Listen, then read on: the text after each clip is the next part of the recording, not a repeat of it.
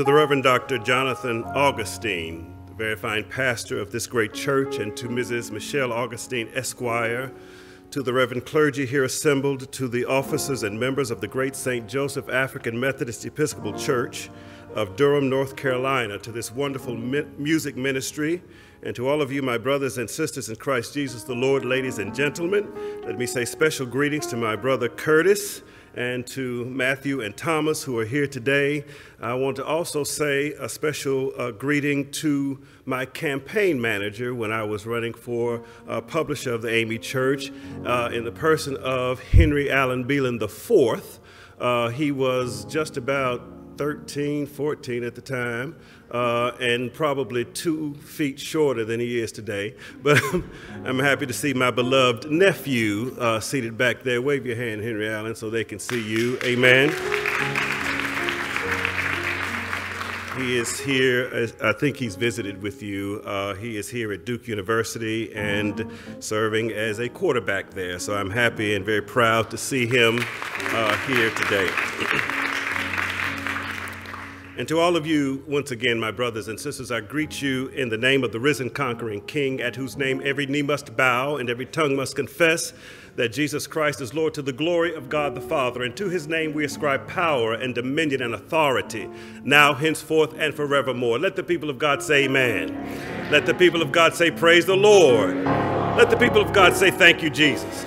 If you're happy to be alive today, come on and throw your heads back and shout, Hallelujah! Now come on and put your hands together and give the Lord praise, for this is the day the Lord has made, and we should rejoice and be glad in it. Come on, my soul makes its boast in the Lord. The humble shall hear thereof and be glad.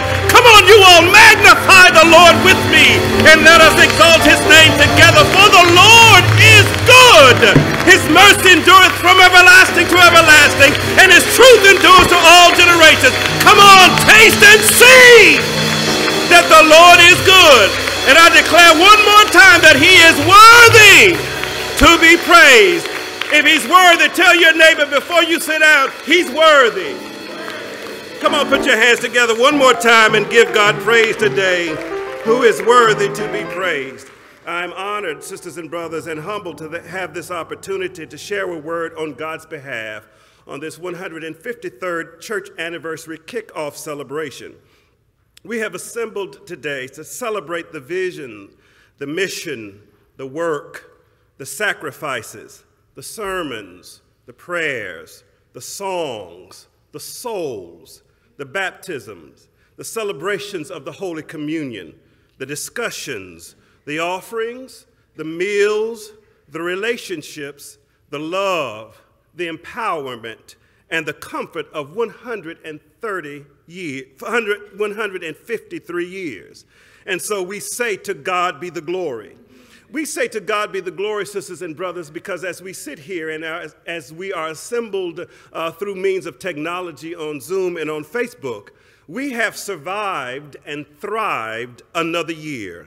There are so many, so many who have started out on this journey with us, who have slept into eternity but through the grace and the mercy of God, we are still here. And we are blessed today to come to the altar of God. Praise the Lord.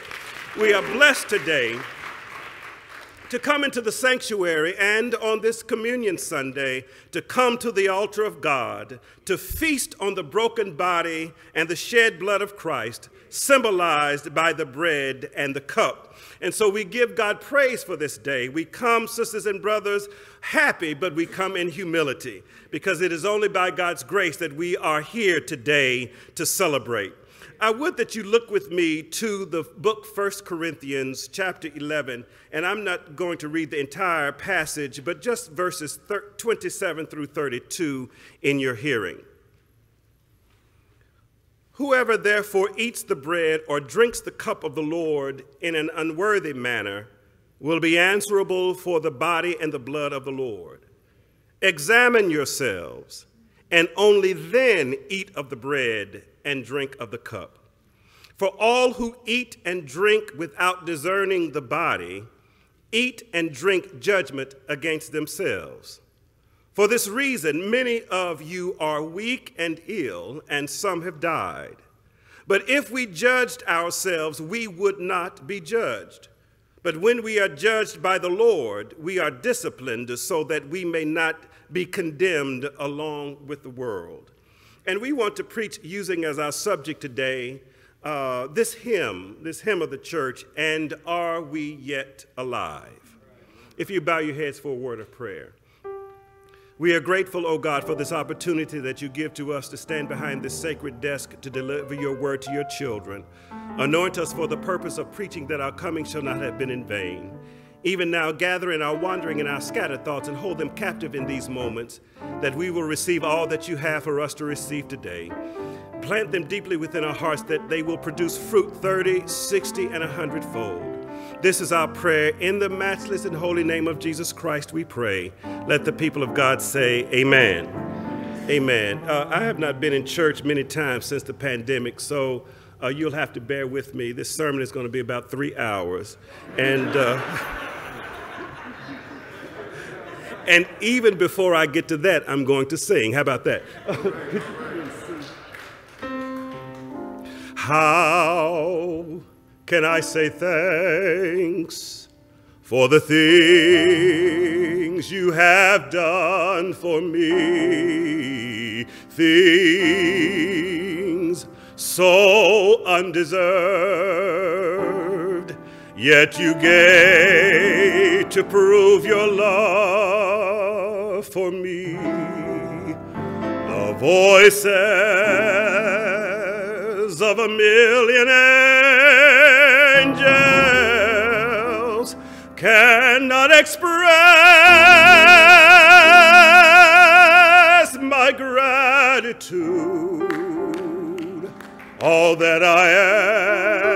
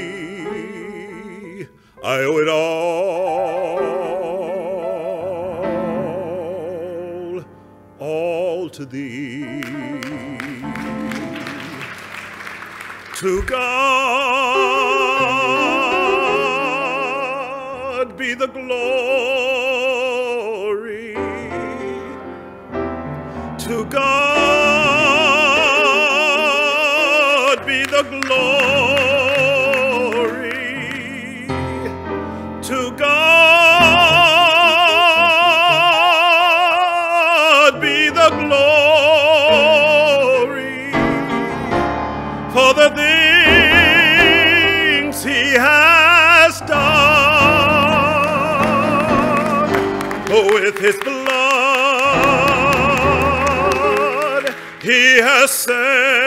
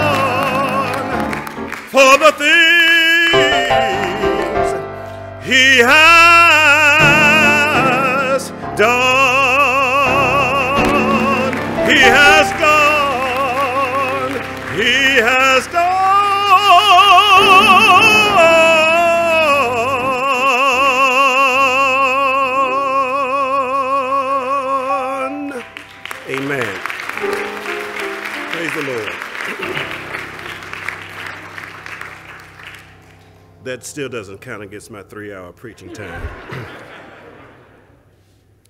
uh, during the pandemic, um, Bishop McKenzie, who was the chair of the Publications Commission at the time, and I determined that in an effort to keep us together, we needed to uh, provide different avenues through means of technology for us to assemble together with believers.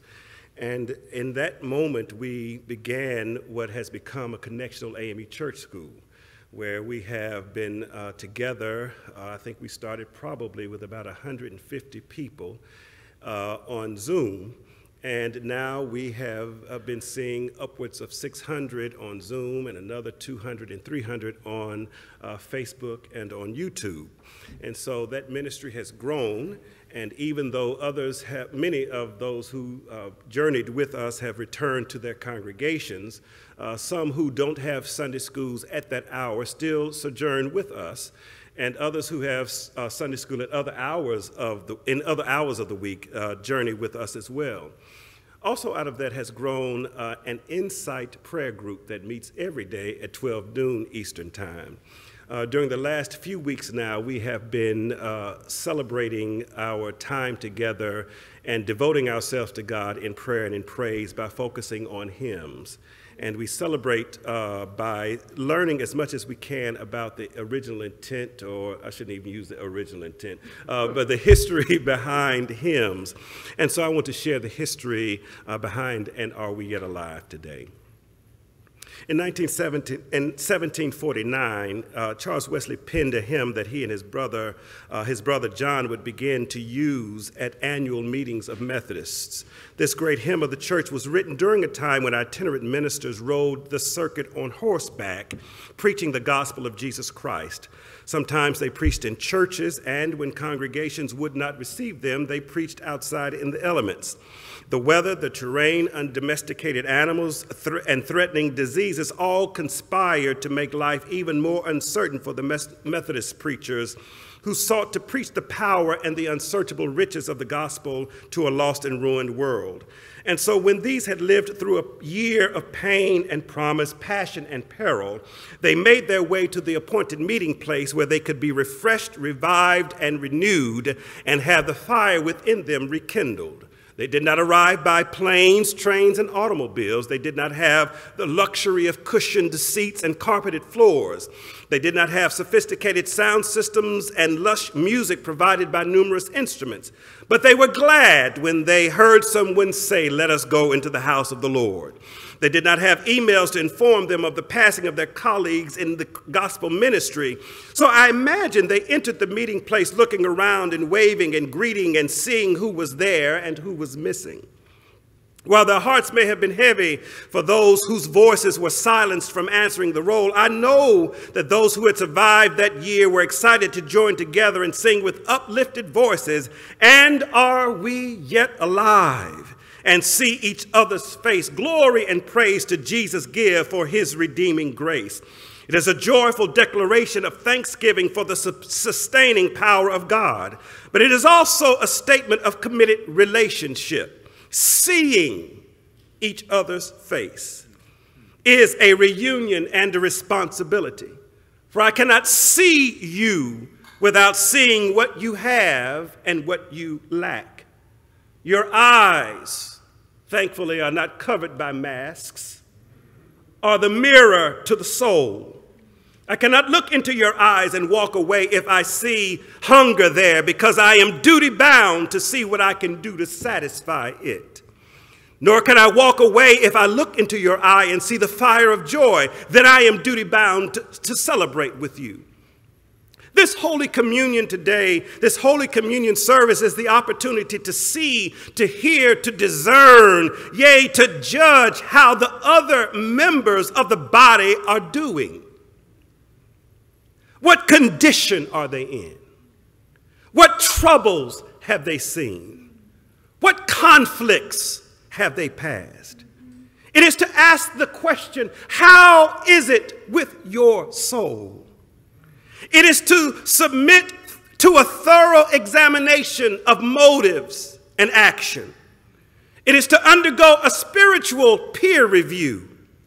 It is to be scrutinized by the old and the experienced and observed by the young and expectant. It is to step onto a theological scale and to weigh in so as to be sure that during the course of the year out there in the world that some fancy sounding fables and fiction did not affix itself to your faith.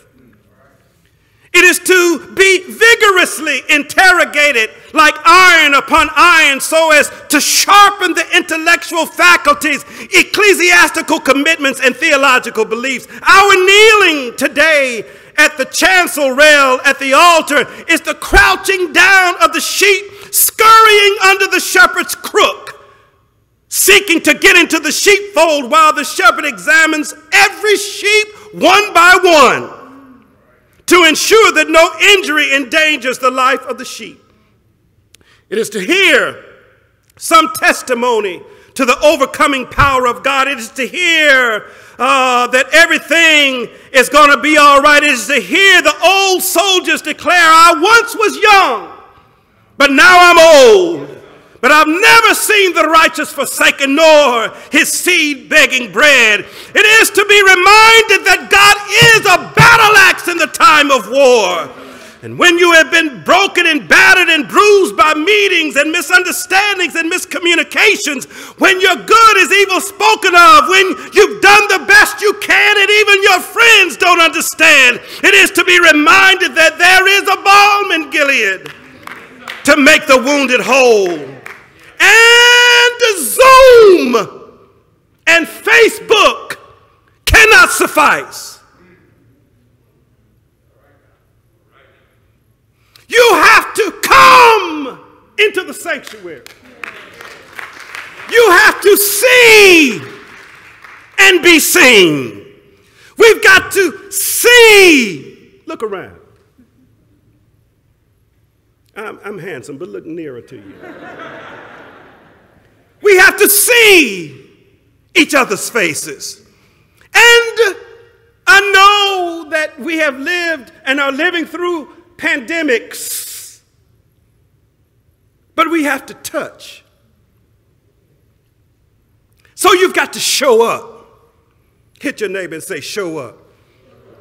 You didn't say it loud enough. Email and text messaging cannot properly convey all the information that must be gathered when we come together. And social media is dishonest. We have to show up and we have to look at each other eyeball to eyeball. We've got to feel the strength of the grip and the warmth of the embrace. We've got to be together. When I was in college, I didn't like to go home that much. I didn't like to go home because I was doing some things I had no business doing, and I knew if I got home, they'd know it. yeah. I knew if my mom and daddy could see me and look me in my eyes, they would know that I was doing something I had no business doing. So I stayed away. Hear me. I did not want my father to catch a whiff.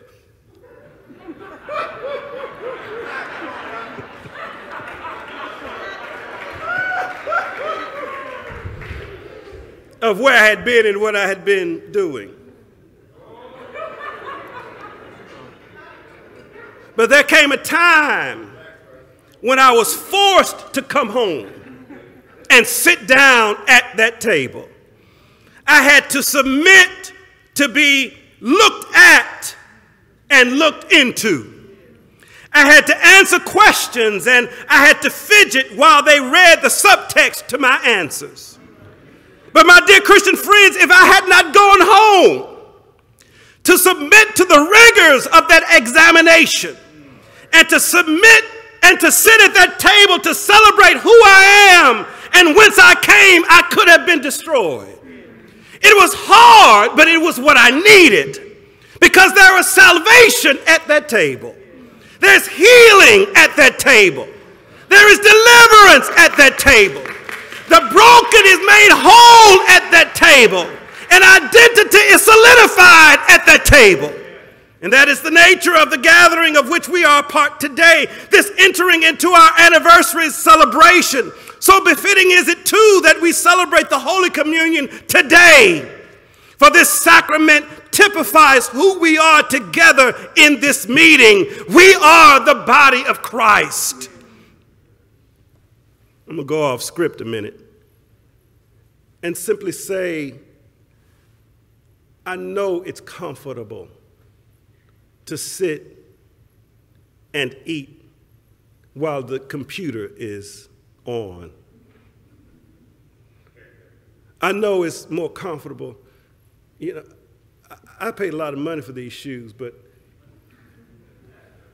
they got hard soles on them. And I have not been wearing these shoes a lot.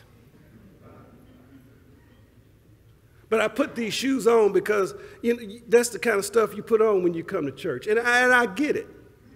Folk don't want to put on, you know, they got this term now called hard clothes.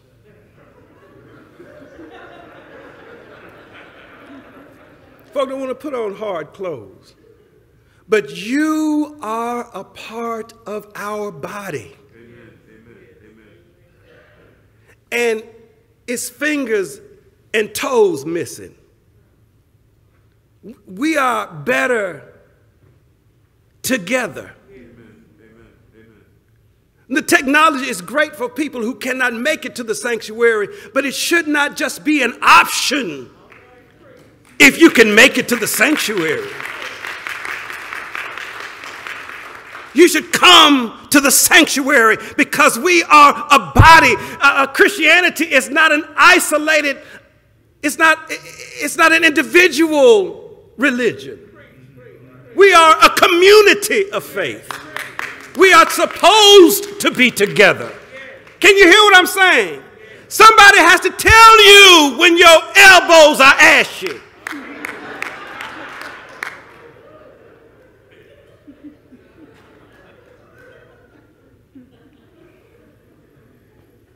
We are the body of Christ.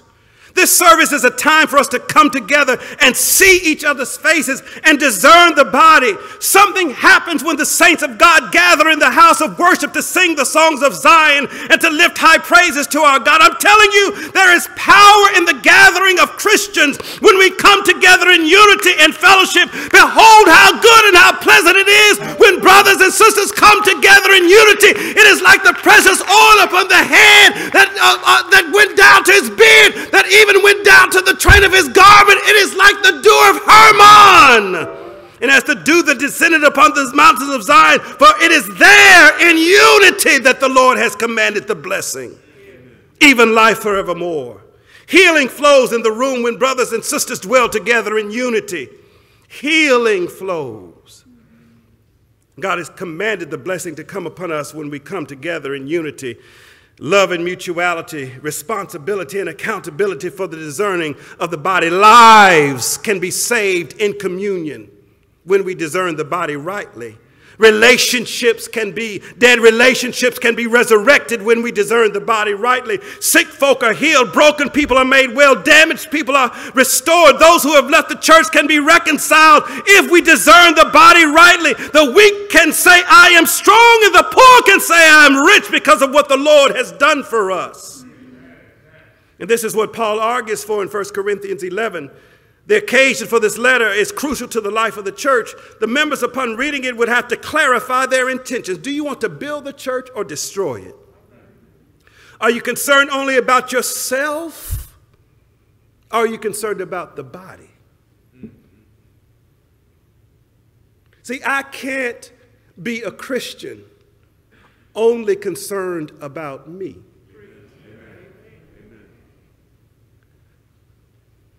And I stand often, as I do today, to come against that notion of coming to church to get a word.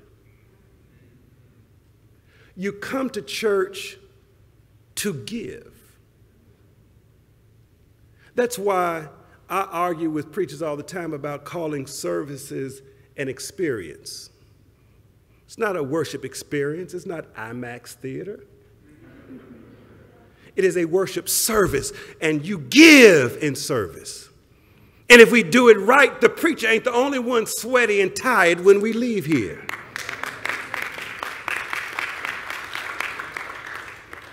The members of the church at Corinth were in danger of undermining the very essence and meaning of the Lord's Supper. They were allowing divisions to come into the church because of what, uh, uh, and because of this, what should have been a holy communion was becoming nothing more than a common meal But what's more, the members of the church were not even regarding the usual practices of hospitality. What seems to have happened there is that people of a certain level of society would arrive at the meal site earlier than the others, and they would eat and drink the provisions before the poor folk and those who were enslaved could even arrive.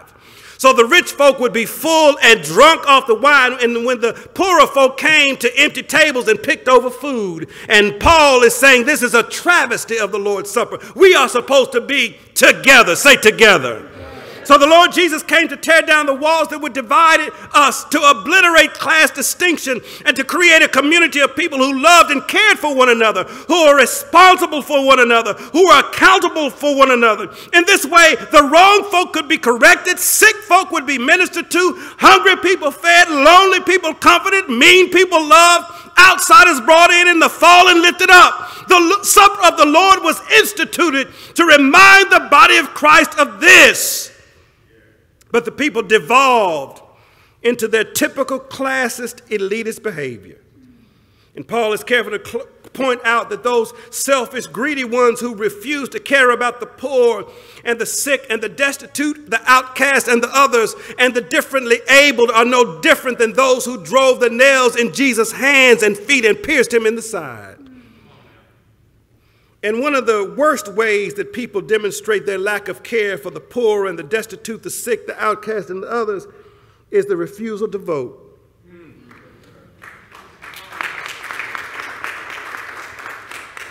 And don't get messed up with these uh, deluded Christians who say, you know, we don't need to involve ourselves in politics. We're Christians.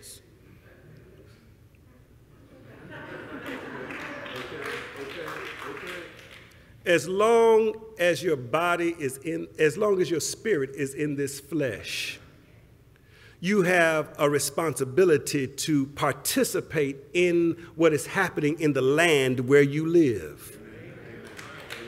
Amen. I'm going to cheat y'all out of a couple of hours here, but when we come to the table, we must examine ourselves and recognize that if it had not been for the Lord on our side, we don't know where we would be. When we come to the table, we must examine ourselves and come to know that we didn't earn a seat at the table, but it was God's grace and God's mercy. When we come to this table, we must take an introspective glance and realize that it was God who made a way for us out of no way, that it was God who picked us up out of the muck and mire that was our lives, that it was God who saw us when we were sitting under our own fig trees, that it was God who called us out of darkness into his, into his marvelous light. But let a man, let a woman examine themselves, for when you look at yourself, you can look at others differently, but let a woman, let a man examine themselves. For when we look at ourselves, Paul suggests, then we will not know how to eat the bread and drink the cup. For judgment ensues when we don't judge the body rightly. When we discern the body rightly, we know that it is love and mutuality and responsibility and accountability. And what God is calling the church to is intentional intimacy. Amen.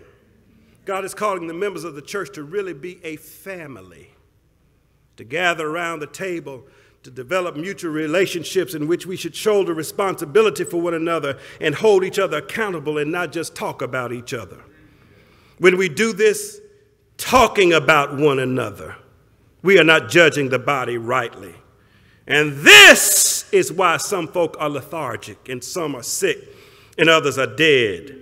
The Holy Communion is not a, just a meal, it is not just a ritual, it is a sacrament. It is an appointed means of grace, and we are to invest meaning in our coming and receiving and thanking and breaking and giving and receiving. Uh, it is an enactment of our unity, it is an embodiment of our interconnectedness. It is a celebratory remembering of the love of God in Christ Jesus, that God has power to bring healing and deliverance. And what we do here is not magic, the power is in the presence of God manifested in the love and care and concern and mutuality and recognition and celebration of each other for the other. For the other. For the other. For the one not like you. So it's rural and urban, rich and poor, sick and well, in and out, up and down, high and low, high, yellow, and honey dripper. Wide and narrow, the good, the bad, and the ugly. It is to come together and to be the church, whether you're bringing the bankroll or the widow's mite. Paul says when you come together, you have to take care of one another. For the church cannot go merrily along uh, full of itself and intoxicated by the beautiful atmosphere of worship, but we must engage the powers. As long as we are in this flesh, we must engage the powers of this world. And it is not about political party, Tuesday is not about political party. Tuesday is about enacting justice and equity for all of humankind.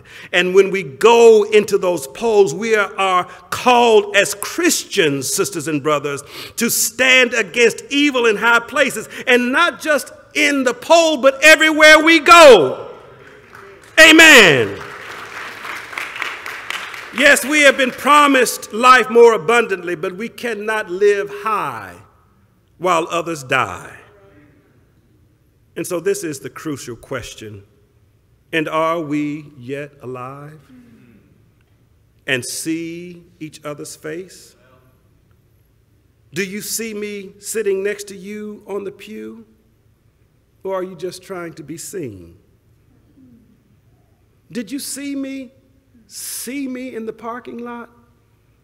Or were you just trying to get a space? Did you see me in the doorway or did you walk over me to get your program? Did you see my face in the aisle or were you just trying to get your choice of seats? Do I matter to you? Do you care about me? Don't you know that we are members of the same body? And if you discern this body rightly, we can move beyond the question to the celebration. And are we yet alive? And see each other's face. Glory and praise to Jesus give for his redeeming grace, preserved by power divine to full salvation. Here again in Jesus' praise we join, and in his sight appear. What troubles have we seen? What conflicts have we passed? Fightings without and fears within since we assembled last. But out of all the Lord has brought us by his love.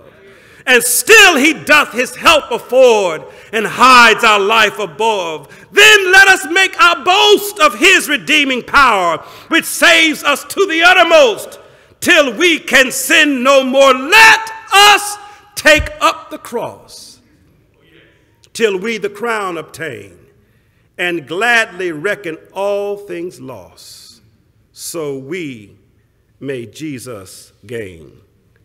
Amen.